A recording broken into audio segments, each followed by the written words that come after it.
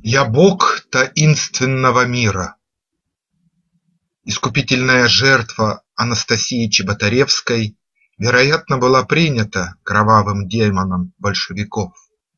Жизнь Федора Сологуба в роковом стечении дней продолжалась, несмотря ни на что. Вдовец даже не счел нужным покидать советскую Россию. В год гибели жены в Берлине выходит в свет последний роман Федора Сологуба Заклинательница змей.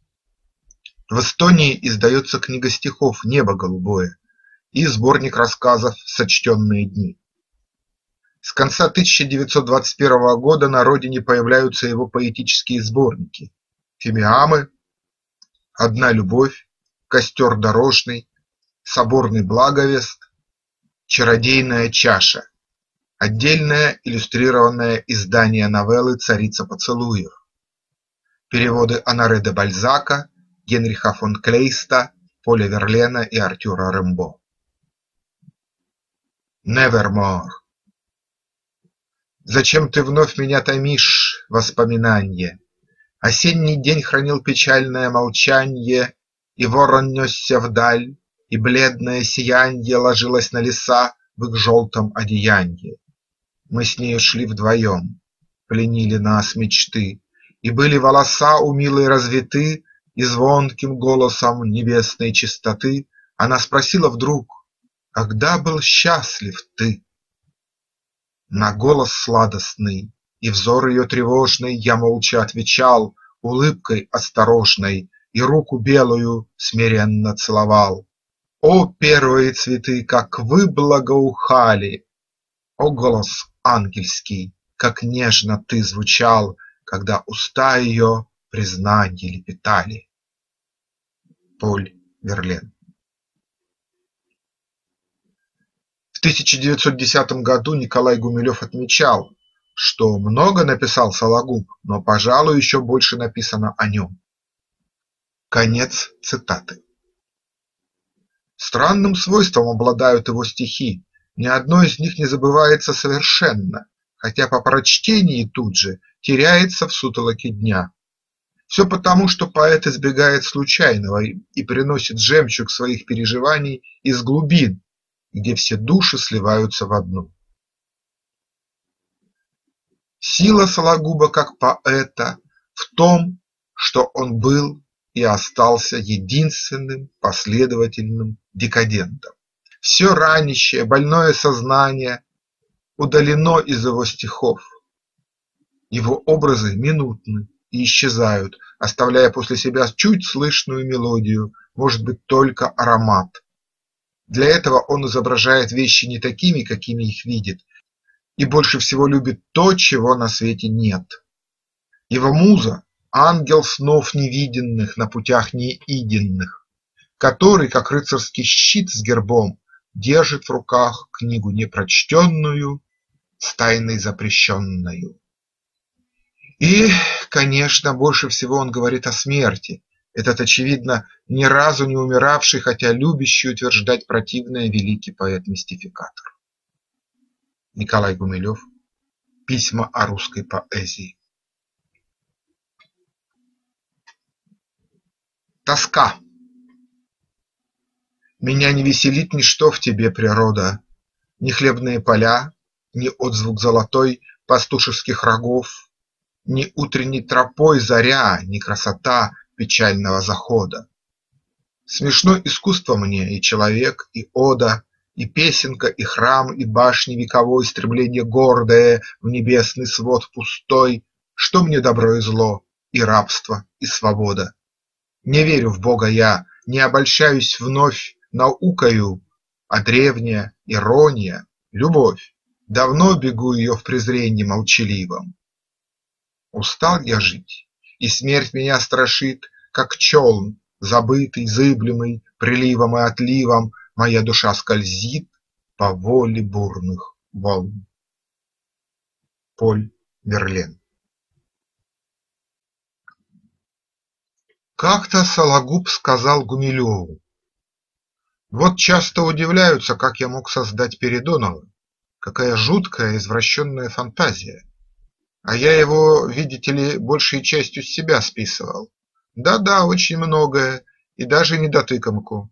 То есть она, наверное, появилась бы, материализовалась, если бы не было стихов, как отдушины. Впрочем, и с поэзией надо осторожно, тоже многих гибели приводит. А мне вот помогает. Вы меня поймете, Николай Степанович, вам самому поэзия мать, а не мачеха. Оберегает вас, помогает вам. А вот Блока ведет к гибели, и не его одного. Надо быть очень сильным, чтобы суметь справиться с поэзией, не дать ей проглотить себя. В мерный круг твой бег направлю, укороченной уздой. Мне всегда кажется, что это Пушкина поэзии. Он-то умел с ней справиться, а Лермонтов нет, не мог, оттого и погиб. Гумилев, хотя он совсем не был согласен, слушал не перебивая, не споря. Перебьешь – насупится и замолчит. Надо ждать, пока Сологуб сам задаст вопрос, а Сологуб продолжает отчеканивать. Вот еще меня упрекают в жестокости, будто мелкий бес – жестокая книга. Но ведь без капельки жестокости не бывает великих произведений. Это, как вы знаете, Николай Степанович еще Лопе де Вега сказал. И как это правильно. Капелька жестокости необходима. Без нее, как без соли, пресно. Ирина Адоевцева на берегах Невы Я в черные дни не жду пробужденья, Надежда, усни, усните, стремленья, Спускается мгла нам взоры на совесть, Ни блага, ни зла, о, грустная повесть! Под чьей-то рукой я зыбки качанье, В пещере пустой молчанье, молчанье.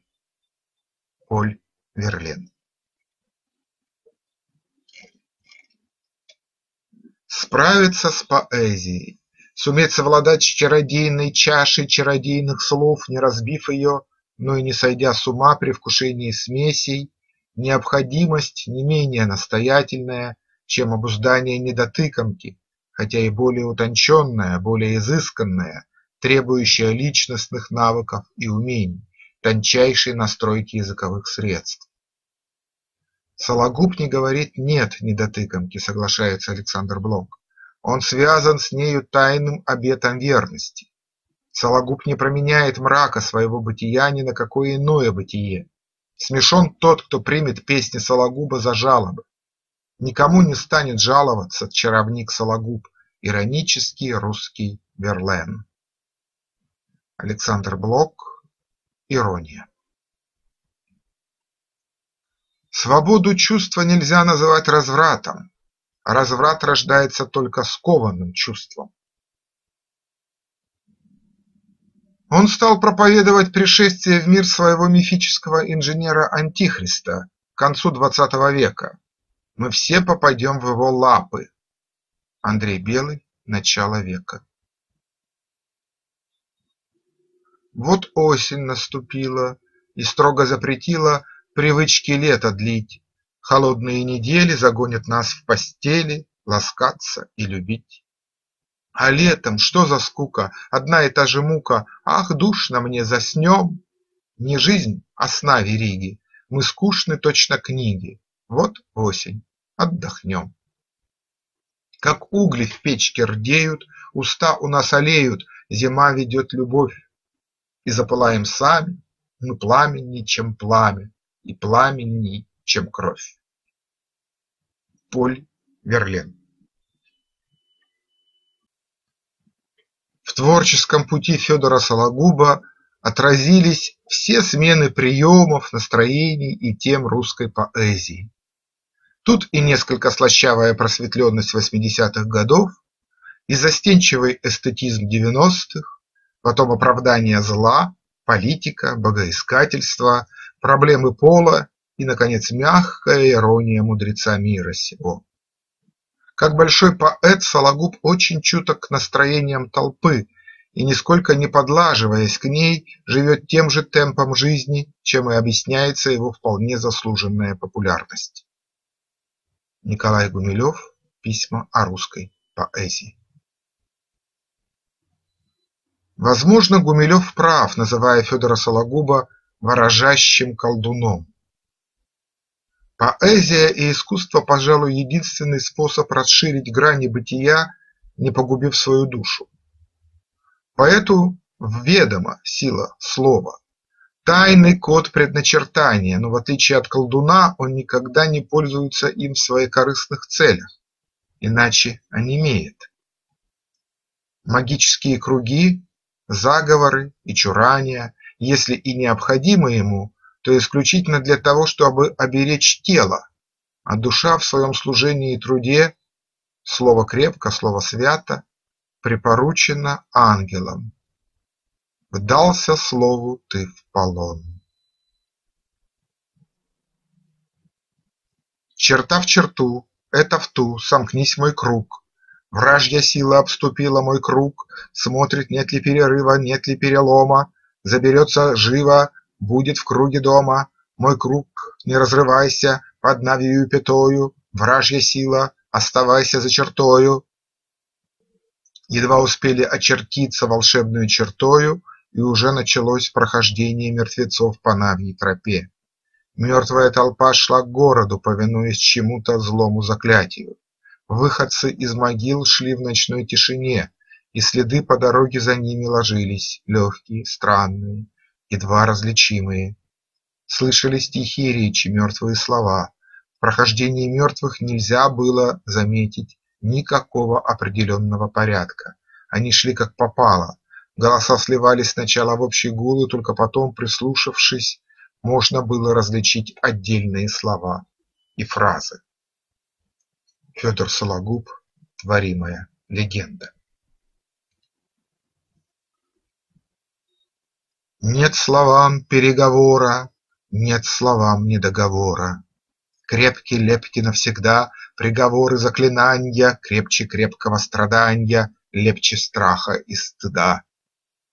Ты измерь, и будет мерно, Ты поверь, и будет верно, И окрепнешь, и пойдешь В путь истомный, в путь бесследный, путь от века заповедный, Все, что ищешь, там найдешь.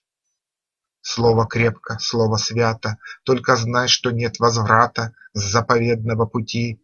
Коль пошел, не возвращайся, С тем, что любо распрощайся, До конца тебе идти. Заклинаньем обреченный, Вещей деве обрученный, Вдался слову ты в полон, Не жалей о том, что было, В прежней жизни сердцу мило, Что истаяло, как сон. Ты просил себе сокровищ, у безжалостных чудовищ, заклинающих слова, И в минуту роковую взяли плату дорогую, взяли все, чем жизнь жива. Не жалей о ласках, милой, ты владеешь высшей силой, Высшей властью облечен, что живым сердцам отрада, Сердцу мертвому не надо, плачь, не плачь, ты обречен. 19 января 1922 Из шествия мертвецов по Навьей тропе, Из таинственного мира Федора Сологуба, Сны Хлудова и ночь на балу у сатаны, Бег и мастер и Маргарита Михаила Афанасьевича Булгакова. Улитка на склоне и трудно быть богом братьев Стругацких.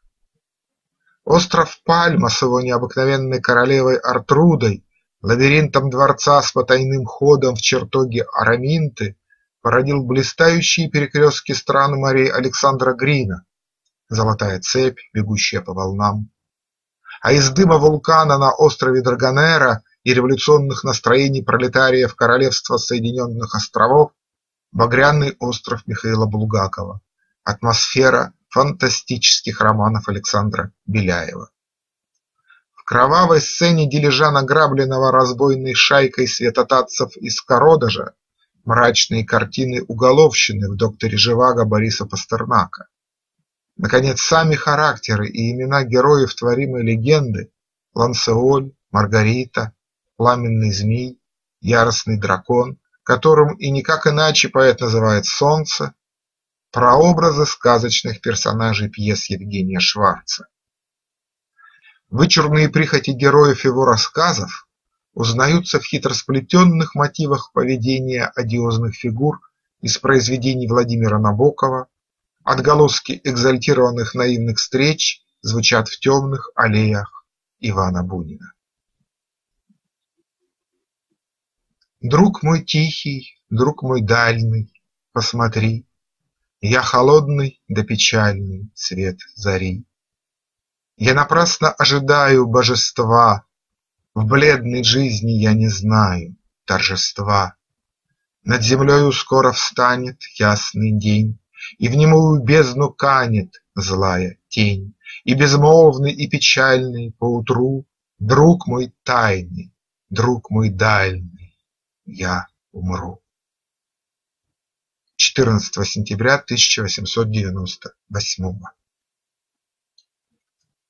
Последние годы жизни Федора Сологуба были ознаменованы работой в Ленинградском союзе писателей, председателем которого он был с января 1926 и празднованием сорокалетия его литературной деятельности в зале Александринского театра 11 февраля 1924 года. Писателя и поэта, сочинения которого после 1922 года ложились в стол, поздравили Евгений Замятин, Михаил Кузьмин, Андрей Белый, Осип Мандельштам, Анна Ахматова.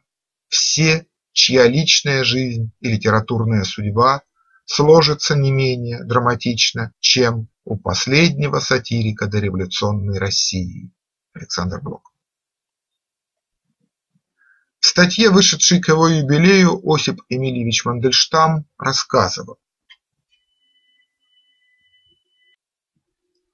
Для людей моего поколения Сологуб был легендой уже двадцать лет назад. Мы спрашивали себя, кто этот человек, чей старческий голос звучит с такой бессмертной силой, сколько ему лет, где черпает он свою свободу, это бесстрашие, эту нежность и утешительную сладость, эту ясность духа и в самом отчаянии. Сначала по юношеской своей незрелости мы видели в Сологубе только утешителя, бормочущего сонные слова, только искусного колыбельщика, который учит забытью. Но чем дальше, тем больше мы понимали, что поэзия Сологуба есть наука действия, наука воли, наука мужества и любви. Прозрачными, горными ручьями текли сологубовские стихи с альпийской, тютчевской вершины. Ручейки эти журчали так близко от нашего жилья, от нашего дома, но где-то тают в розоватом холоде альпийском вечные снега Тютчева. Стихи Сологуба предполагают существование и таяние вечного льда. Там, наверху, в Тютчевских Альпах, их причина, их зарождение. Это снисхождение в долину, спуск к жилью и жилью снеговых, эфирно-холодных залежей русской поэзии, может быть слишком неподвижных и эгоистических в ледяном своем равнодушии и доступных лишь для отважного читателя. Тают, тают тютчевские снега через полвека, Тютчев спускается к нашим домам. Это второй акт, необходимый как выдыхание после вдыхания, как гласное в слоге после согласной. Это не перекличка, даже не продолжение, а кругооборот вещества. Великий оборот естества в русской поэзии с ее Альпами и равнинами. Осип Мандельштам к юбилею Федора Кузьмича Сологуба.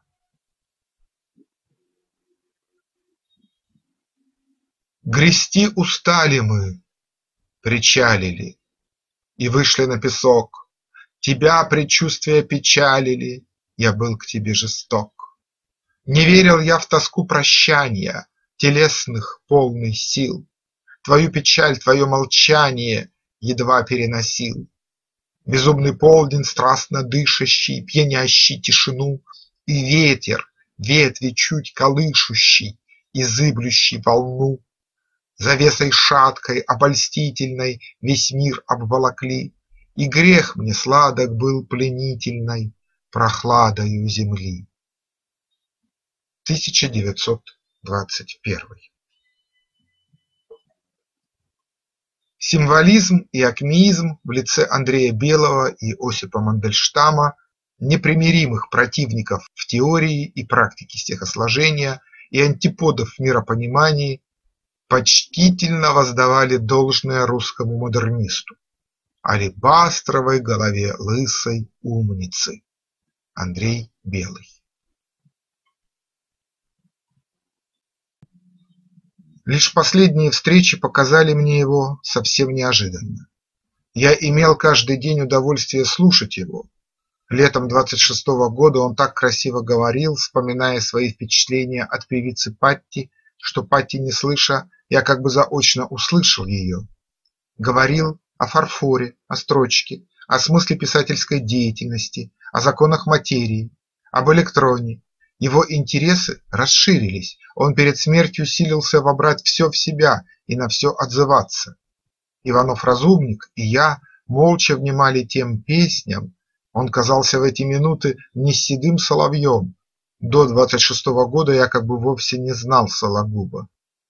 Он стал конкретней. Сорок три года казался развалиной, а став шестидесятипятилетним помолодел, порою мелькало в нем в эти дни что-то от мальчика, Феди Тетерникова. Эдакой словесной прыти и непритязательной простоты я в нем и не подозревал. Каждый день к пятичасовому чаю за столом у Иванова-разумника вырастал старый астматик, несущий как крест свое тело больное.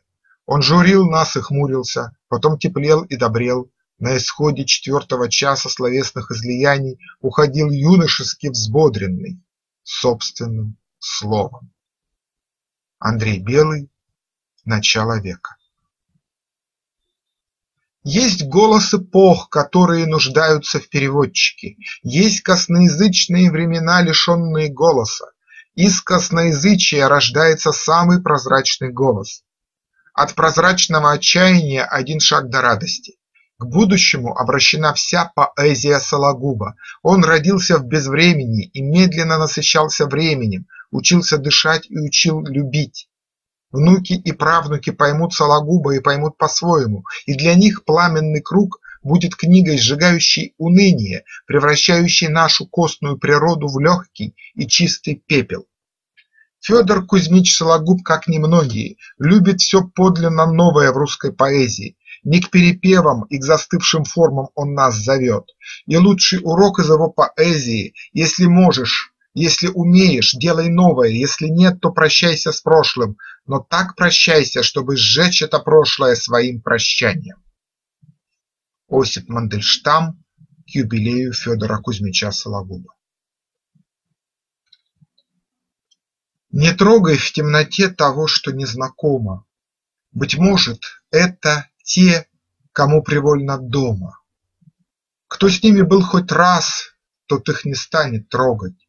Сверкнет зеленый глаз, царапнет быстрый ноготь, Прикинется котом испуганная нежить. А что она потом затеет? Мучить? Нежить? Куда ты не пойдешь, возникнут пусторосли. Измаешься, заснешь, но что же будет после? Прозрачную щекой прильнет к тебе сожитель, Он серую тоской твою затмит обитель. И будет жуткий страх, так близко, так знакомо Стоять во всех углах тоскующего дома. 11 декабря 1905 Новые стихи поэта, как прежде, в 1910-е годы, когда вместе со своим протеже Игорем Северяниным он путешествовал по России с лекциями о новой поэзии и поэтическими перформансами, теперь можно было услышать только из уст автора с эстрадных сцен Ленинграда и детского села. Впрочем, успех Игоря Северянина в предреволюционные годы во многом превосходил все, что могло только перепасть от публики русскому Верлену. Да-да, небывалый, громокипящий успех, вспоминал Игорь Северянин. Уличное движение останавливали, когда я выступал в зале под Думской каланчой. А в Керчи, в Симферополе, на Волге лошадей распрягали и поклонники на себе везли меня, триумфатора. Страшно вспомнить, какое великолепие! Купчихи бросали к моим ногам на эстраду бриллиантовые браслеты, серьги, брошки. Он весь преображается, голос его звенит. Да чего чудесно было! Сказка из «Тысячи и одной ночи», даже еще чудесней. Сологуб возил меня по всей России, и всюду вечный праздник, беззакатное торжество. На меня, как из рога изобилия, сыпались цветы, слава, влюбленные женщины и деньги. Сколько денег! Просто золотой дождь. Ирина Адоевцева на берегах Сены Алкогольная зыбкая вьюга Зашатает порой в тишине. Поздно ночью прохожий пьянчуга Подошел на Введенской ко мне. «Вишь, до Гатчинской надо добраться», — он сказал мне с дрожанием век. «Так не можете ли вы постараться мне помочь, молодой человек?» Подивившись негаданной кличке, показал я ему, как пройти, а потом, по давнишней привычке, попытался разгадку найти. Впрочем, нечему здесь удивляться. По ночам я люблю босиком час-другой кое-где прошататься, чтобы крепче спалось а потом. Плешь прикрыта поношенной кепкой, гладко выбрит, иду я босой, и решил разумением некрепкий, что я, значит, парнишка простой. Я ночною прогулкой доволен. Видно, все еще я не ломлюсь. Хорошо, что я в детстве не холен, что хоть пьяному, юным кажусь. 11 октября 1923 Нехитрая теорема Федора Сологуба «Где люди, там скандал» дополнялась обратной «Где скандал, там и люди». Истинность противоположной теоремы не нуждалась в доказательстве. Где нет людей, нет скандала. И теоремы обратной противоположной, по его мнению, тоже. Где нет скандала, нет и людей. Бытописатели приписывают поэту авторство и другой теоремы где люди, там водка. Весной 1926 года Федор Сологуб написал около дюжины антисоветских басен, которые читались в узком кругу. Большевиков он не называл иначе как туполобые и спорил, сколько лет продлится их иго – 300, как татарская, или всего лишь 200.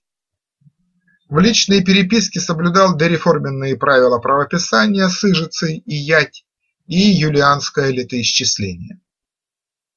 «Люди будут счастливы, когда все дети будут ходить босыми», – говорил поэт.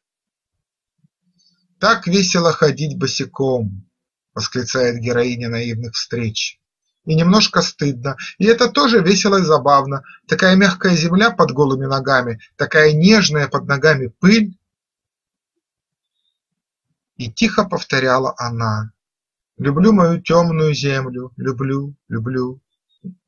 Радостное волнение охватило ее. Грудь ее дышала трепетно и неровно. Легкая дрожь пробегала по ее телу.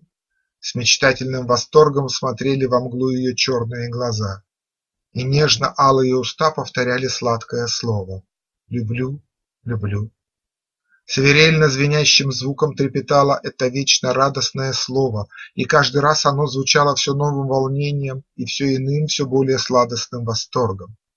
И уже она словно задыхалась от восторга и сладостной печали, и свирельными стонами и вздохами перемежалось вечно ликующее слово «Люблю, ах, люблю».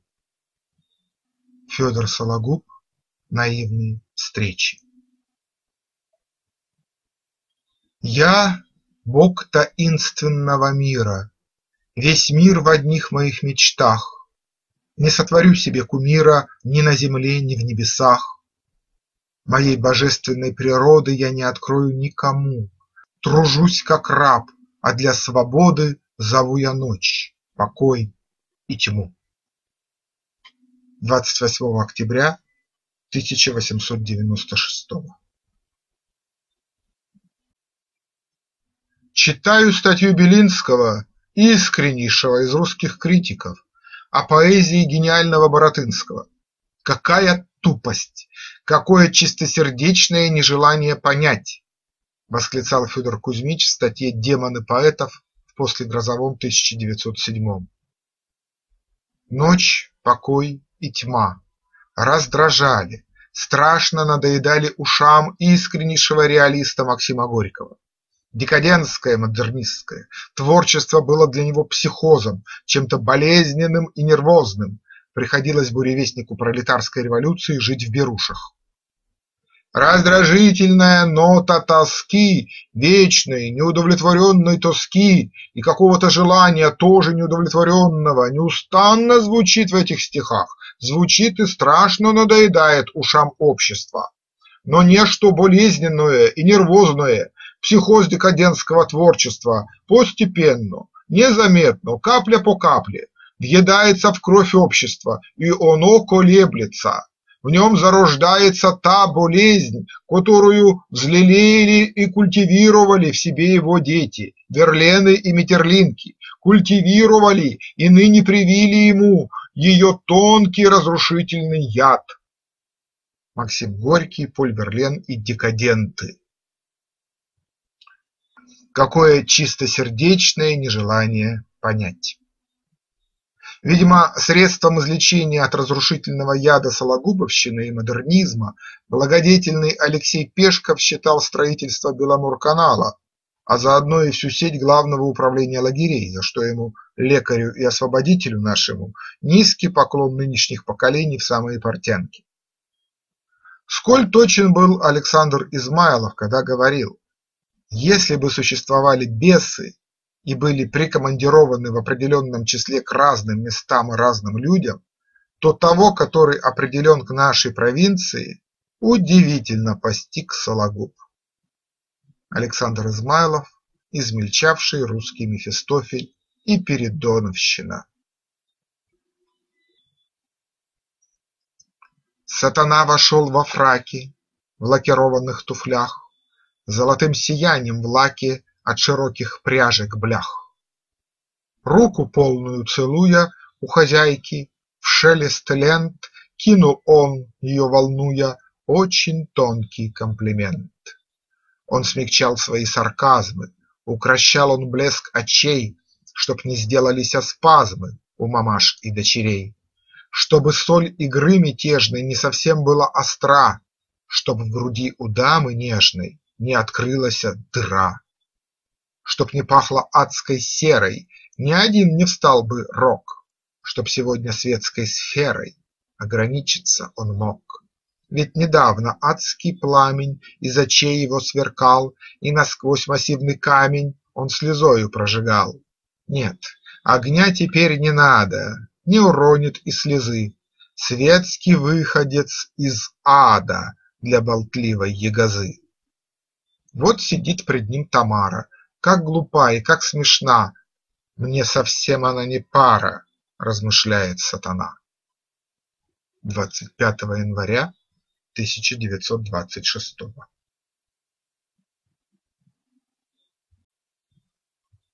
Уже к началу XX века европейская цивилизация приучила людей думать, что ценно только забавное и смешное, а все серьезное скучно и не нужно. Цивилизация эпохи рыночной экономики поощряет бездумность, тратится на развлечения низкого пошиба, покрывает славой кого угодно, лишь бы только отвратить от осмысленной жизни и личностного освобождения. Процветают мошенники, псевдописатели, псевдохудожники, псевдопевцы-артисты, псевдоминистры, псевдобизнесмены, псевдоразведчики, псевдоврачи. А кто славен Досадливо задается вопросом главный герой творимой легенды. Певица кабацких песен, сладкий тенор, претенциозный романист, человек, сделавший крупный скандал, человек, создавший вокруг себя удачливую рекламу. Чего она стоит, эта слава, вырванная у тупой злой толпы? С каким злорадством ловят люди вести о каждом неловком шаге того, кто вознесен ими? И как они грызут и травят Вознесенного, когда пошатнется его утлый пьедестал. Нет, мне славы не надо. Среди людей думающих мнение Федора Сологуба было наиболее ценным, а позиция непререкаемой. Всякая окололитературная недошивенка-недотыкомка чуть что сразу апеллировала к поэту. Из письма Соколова-Кречетова 28 августа 1910 года. Весьма негодовал, прочтя в последнем номере Аполлона Гумилевскую на тебя хулу. Знаешь, Федор Кузьмич, подобало бы привести мальчишек к должному респекту. Конечно, в твоих глазах, как и в глазах зрителей, Гумилев моська, и притом не особо породистая, но ведь бывает и мосик бьют, когда они лезут под ноги. В Москве все очень поражены выходкой Гумилева, еще более тем, что она не в случайном месте, а в Аполлоне, руководители Коева не могли его просмотреть. Конец цитаты. Великим поэтом-мистификатором называет в своей статье Федора Сологуба Николай Гумилев. Кречетов Соколов, который был старше Николая Степановича на семь лет, а в литературном отношении вечный подросток, хает Николая Гумилева почем зря, будучи уверен, что его негодование сослужит свою черную службу недотыканному мальчишками Сологубу. В чем же состояла выходка Гумилева? Понимая и ценя Сологуба, поэт поставил вопрос, ответ на который объяснил бы многое в творчестве бога таинственного мира, и годы шумной славы, и десятилетия забвения, и заслуженное бессмертие в русской литературе. У меня при чтении критик на Сологуба всегда возникают странные вопросы, неуместные простотой своей постановки. Как же так? Преемник Гоголя, а не создал никакой особой школы, Утонченный стилист, а большинство его стихотворений почти ничем не отличается одно от другого. Могучий фантаст, а только недотыкомку, собаку да звезду Маир мы и помним из его видений. Письма о русской поэзии. Зелень тусклая, олив, успокоенность, желание. Безнадежно молчалив, скорбный сон твой, Гефсимания. В утомлении и в бреду в час, как ночь безумно стынула, Как молился он в саду, чтобы эта чаша минула. Было темно, как в гробу. Мать Великая ответила на смиренную мольбу Только резким криком петела. Ну так что ж, как хочет Бог, В жизни нашей так и сбудется, А мечтательный чертог только изредка почудится. Всякий буйственный порыв Гасит холодом вселенная, Я иду в тени олив, И душа моя смиренная. Нет в душе надежд и сил, Умирают все желания, Я спокоен, я вкусил Прелесть скорбной Евсимании. 26 октября 1911 Зелень тусклая олив, Образ хлесткий и маженистский. Я иду в тени олив, и душа моя смиренная. Это восхождение повторит Борис Пастернак, познав холод вселенной, вкусив прелесть скорбной страны в Гефсиманском саду. Интерес к новым поэтическим формам, футуризму и эгофутуризму сблизил Сологуба с Игорем Северяниным, с авторского вечера которого в салоне Сологуба начался его стремительный взлет и двусмысленная слава. Как же так? Радостны муки и желанны страдания за свободу. Неважно, что утонченный стилист не создал своей школы, а большинство его стихотворений почти ничем не отличается одно от другого. Он был и остался единственным последовательным декадентом, великим поэтом-мистификатором. Сладким пламенем восторга свобода льется по жилам, вкусивший из ее кубка приобщается к такому мощному потоку жизни и восторга, выливает свой голос в такой могучий гимн, при которых нет места мелким, пошлым бесам многовековой ночи.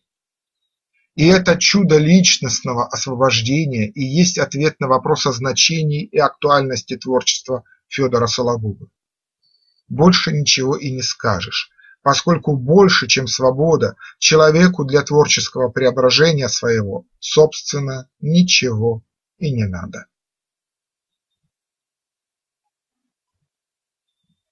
Обнаженный царь страны блаженной, Кроткий отрок, грозный властелин, Красотой сияя нерастленной Над дремотной скукою равнин, Над податливостью влажных глин, Над томленьем тусклым жизни пленной Он вознесся в славе неизменной, Несравненный, дивный, он один.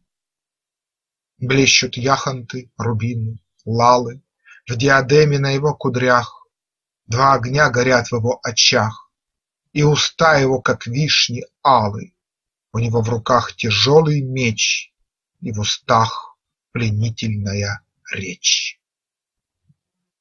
24 июля 1920